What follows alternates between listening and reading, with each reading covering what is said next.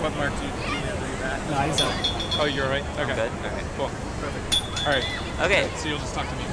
Hi. So my name's Declan. Uh, I've been in Enquire for 10 years. It's my final year. Um, something from the Italy trip uh, that we just took, that we just came back from, was that everyone in Italy is all about expression.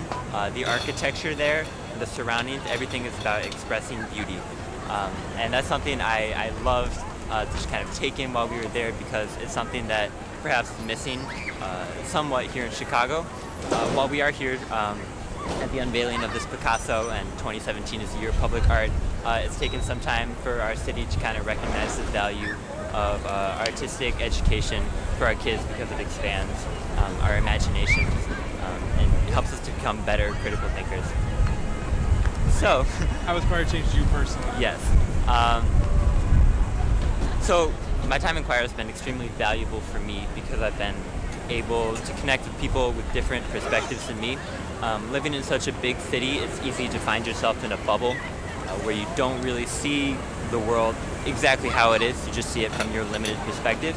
Being in choir has opened my eyes to disparities um, that exist in our city and are things that I want to try to fix when I grow older. I'm thinking of pursuing a, a career in public policy or perhaps law. Um, and so being able to, being exposed to these different perspectives really helped me and opened my eyes um, to be uh, a, a, global citizen and someone who thinks not only for themselves and what they can do to benefit themselves, but how I can benefit other people.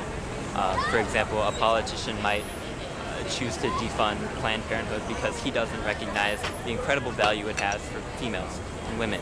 Um, however, being in the choir has given me that kind of perspective to understand um, public policy decisions and their impact broadly and not just how it would affect me. Um, so the choir has probably inspired, the choir has inspired me to go on and pursue public policy and law so I can help other people who are different than me um, help kind of create a better world on my own. Cool. Awesome. Yeah. Thanks, Declan. Thanks.